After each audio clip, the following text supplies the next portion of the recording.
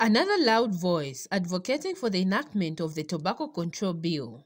The bill is aimed at regulating the use of tobacco in the country, and Zambia had signed the convention framework in 2008, but it has never been ratified. A group of youths belonging to a non-governmental organization, the Youth Alliance Zambia, have presented a petition to the Ministry of Health demanding that the draft bill be presented to Parliament before it is dissolved.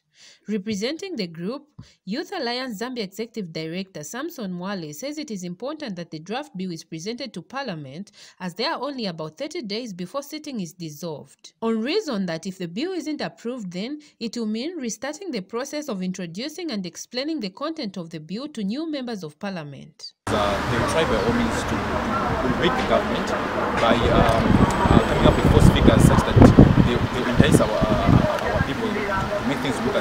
they are supporting our, our economy which in fact not. So the bill actually protects the life of Zambians. Mr. Mwale explains that when the Tobacco Control Bill is made into law, it will regulate the use of tobacco in the country and also reduce on tobacco-related deaths.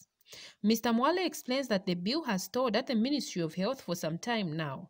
He says this is due to lack of implementation of political will, which the current ruling Patriotic Front government should work on. Because uh, we've seen certain bills that have just come recently. The Tobacco and Nicotine Control Bill was formulated in 2018, and Zambia and Zambia, even before then, 13 years ago, ratified That's to the 208.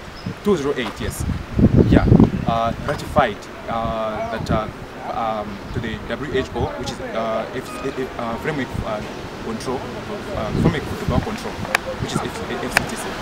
Okay, so with that one, we said okay, they will. Uh, uh, uh, a lot of uh, youths out there are dying as a result of this product. So please quickly look into this issue.